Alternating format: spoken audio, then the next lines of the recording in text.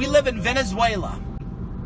General Flynn is an honorable pedophile savage calling out every Trump voter. They are the ones who celebrated the rule of the mob, the rule of the mafia, the rule of the deep state, where if you're a decorated three star IT guy who went on to Reddit, that is a felony. That is felony obstructing justice. This happened over a year. Why is this man walking free? So if you're General Flynn and you support Trump, pray for bad boy Tony. Thanks for watching. Mike Cernovich, Cernovich.com.